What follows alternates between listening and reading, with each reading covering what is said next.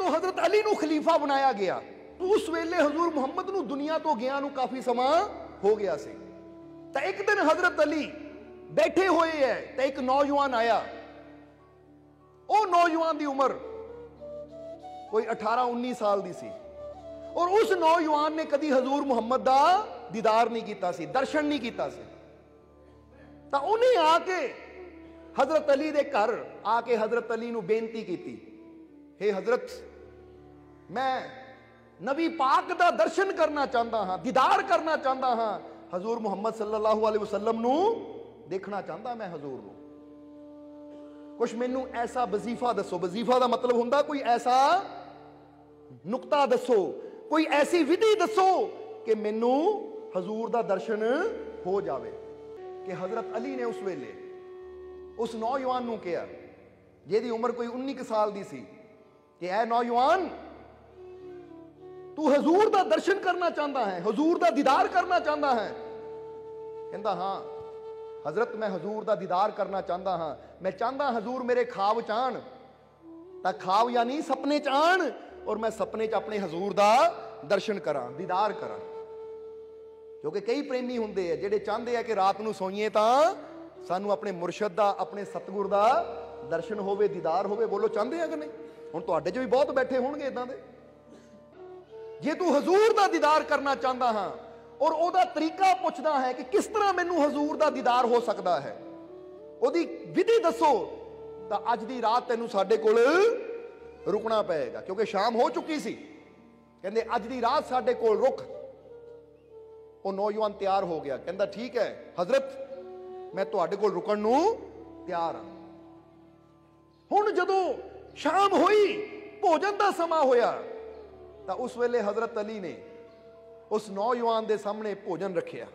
ਕਿ ਲੈ, ਐ ਨੌਜਵਾਨੇ ਭੋਜਨ ਖਾ, ਇਹ ਖਾਣਾ ਖਾ।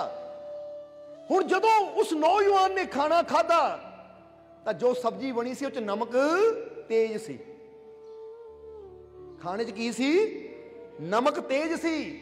ਔਰ ਤੁਹਾਨੂੰ ਪਤਾ, ਜਦੋਂ ਖਾਣੇ 'ਚ ਨਮਕ ਤੇਜ਼ ਹੋਏ ਤਾਂ ਬੰਦੇ ਨੂੰ ਪਿਆਸ ਵੀ ਲੱਗਦੀ ਹੈ ਪਾਣੀ ਪੀਣ ਦੀ ਅੰਦਰ ਤਲਬ ਉੱਠਦੀ ਹੈ ਬੰਦੇ ਦੇ ਅੰਦਰ। ਕਿ ਮੈਨੂੰ ਪਾਣੀ ਵੀ ਮਿਲੇ। ਪਰ ਹਜ਼ਰਤ ਅਲੀ ਨੇ ਭੋਜਨ ਦੇ ਨਾਲ ਪਾਣੀ ਨੂੰ ਨਹੀਂ ਰੱਖਿਆ। ਜਦੋਂ ਭੋਜਨ ਖਾ ਕੇ ਹਟਿਆ, ਹੁਣ ਨਮਕ ਤੇਜ਼ ਹੋਣ ਕਰਕੇ ਅੰਦਰ ਪਿਆਸ ਹੈ। ਤਾਂ ਉਸ ਲਈ ਉਹਨਾਂ ਹਜ਼ਰਤ ਅਲੀ ਨੂੰ ਕਿਹਾ ਕਿ ਹਜ਼ੂਰ ਪਾਣੀ ਮਿਲ ਸਕਦਾ ਹੈ? ਕਿ ਹਜ਼ਰਤ, ਪਿਆਸ ਬਹੁਤ ਲੱਗੀ, ਪਾਣੀ ਮਿਲ ਸਕਦਾ ਹੈ? ਤਾਂ ਹਜ਼ਰਤ ਅਲੀ ਨੇ ਕਿਹਾ, ਤੂੰ ਪੁੱਛਿਆ ਸੀ ਕਿ ਹਜ਼ੂਰ ਦਾ ਖਾਬ ਵਿੱਚ ਦੀਦਾਰ ਕਰਨਾ, ਉਹਦਾ ਕੋਈ ਵਜ਼ੀਫਾ ਦੱਸੋ, ਉਹਦਾ ਕੋਈ ਰਸਤਾ ਦੱਸੋ, ਕੋਈ ਵਿਧੀ ਦੱਸੋ? ਤਾਂ ਸਮਝ ਲੈ, ਅੱਜ ਦੀ ਰਾਤ ਤੂੰ ਪਾਣੀ ਨਹੀਂ ਪੀਣਾ। ਇਹੀ ਇੱਕ ਵਜ਼ੀਫਾ ਹੈ, ਇਹੀ ਇੱਕ ਵਿਧੀ ਹੈ। ਅੱਜ ਤੂੰ ਪਾਣੀ ਨਹੀਂ ਪੀਣਾ। ਜਦੋਂ ਅਸੀਂ ਤੈਨੂੰ ਸਵੇਰੇ ਕਵਾਂਗੇ, ਉਸ ਵੇਲੇ ਤੂੰ ਪਾਣੀ ਪੀਣਾ ਹੈ।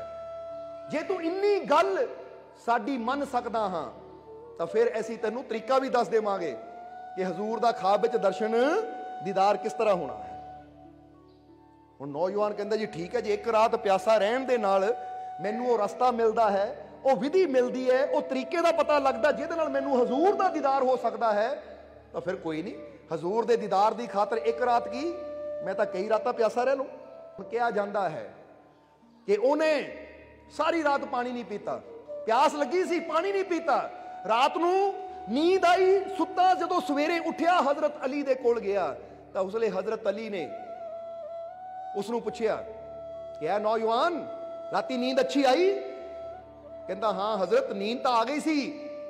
ਕਹਿੰਦੇ, ਫਿਰ ਨੀਂਦ ਵਿੱਚ, ਖਾਬ ਵਿੱਚ ਕੀ ਦੇਖਿਆ? ਖਾਬ ਦੇ ਵਿੱਚ, ਯਾਨੀ ਸੁਪਨੇ 'ਚ ਤੂੰ ਕੀ ਦੇਖਿਆ?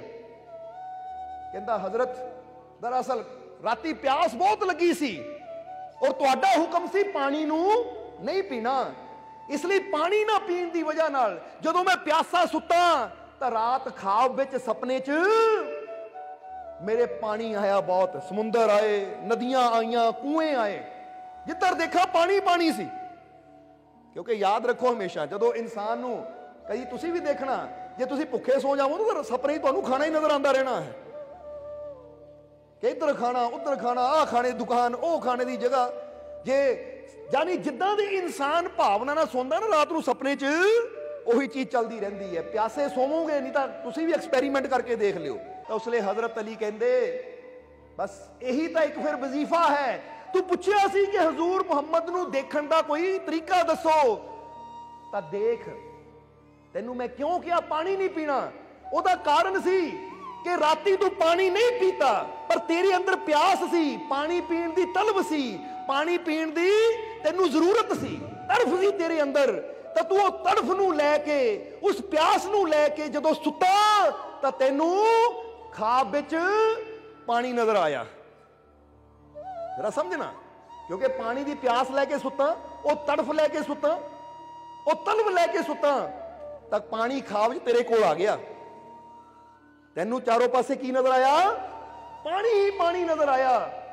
ਤਾਂ ਹੁਣ ਯਾਦ ਰੱਖ ਹੈ ਨੌਜਵਾਨ ਅਗਰ ਪਾਣੀ ਦੀ ਤੜਫ ਲੈ ਕੇ ਸੁੱਤਾ, ਪਾਣੀ ਦੀ ਪਿਆਸ ਲੈ ਕੇ ਸੁੱਤਾ, ਔਰ ਜੇ ਪਾਣੀ ਤੇਰੇ ਸੁਪਨੇ 'ਚ ਆ ਸਕਦਾ ਹੈ, ਤਾਂ ਜਦੋਂ ਤੇਰੇ ਅੰਦਰ ਹਜ਼ੂਰ ਦੀ ਸੱਚੀ ਮੁਹੱਬਤ ਹੋਏਗੀ, ਹਜ਼ੂਰ ਦੀ ਸੱਚੀ ਤੜਫ ਹੋਏਗੀ, ਹਜ਼ੂਰ ਦੇ ਦਰਸ਼ਨਾਂ ਦੀ ਸੱਚੀ ਪਿਆਸ ਹੋਏਗੀ, ਤਾਂ ਹਜ਼ੂਰ ਵੀ ਤੇਰੇ ਸੁਪਨੇ 'ਚ ਜ਼ਰੂਰ ਆਣਗੇ। ਕਿਉਂਕਿ ਜੇ ਪਾਣੀ ਆ ਸਕਦਾ ਹੈ, ਤਾਂ ਫੇ ਹਜ਼ੂਰ ਤਾਂ ਦੋ ਜਹਾਨ ਦੇ ਮਾਲਕ ਹੈ, ਉਹ ਕਿਉਂ ਨਹੀਂ ਆਣਗੇ? ਜਿੱਦਾਂ ਬੰਦਾ ਕਹਿੰਦਾ ਨਾ, ਮੇਰਾ ਮੁਰਸ਼ਦ, ਜ਼ਰਾ ਹੁਣ ਗੌਰ ਕਰਨਾ, ਜੇ ਪਾਣੀ ਆ ਸਕਦਾ ਹੈ ਤਾਂ ਫਿਰ ਕਹਿੰਦੇ ਮੁਰਸ਼ਦ ਕਿਉਂ ਨਾ ਆਵੇ? ਇਹਦਾ ਮਤਲਬ ਜੇ ਹਾਲੇ ਤੱਕ ਨਹੀਂ ਆ ਰਹੇ ਤਾਂ ਅੰਦਰ ਤੜਫ ਦੀ ਕਮੀ ਹੈ, ਅੰਦਰ ਪਿਆਸ ਦੀ ਕਮੀ ਹੈ। ਹੁਣ ਜਦੋਂ ਤੇਰੇ ਅੰਦਰ ਇਸ਼ਕ ਸੱਚਾ ਹੋਏਗਾ, ਜਦੋਂ ਤੇਰੇ ਅੰਦਰ ਪਿਆਸ ਸੱਚੀ ਹੋਏਗੀ, ਜਦੋਂ ਤੇਰੇ ਅੰਦਰ ਤੜਫ ਸੱਚੀ ਹੋਏਗੀ, ਤਾਂ ਹਜ਼ੂਰ ਵੀ ਤੈਨੂੰ ਦਰਸ਼ਨ ਦੇਣ ਵਾਸਤੇ, ਤੈਨੂੰ ਦੀਦਾਰ ਕਰਾਉਣ ਵਾਸਤੇ ਜ਼ਰੂਰ ਆਣਗੇ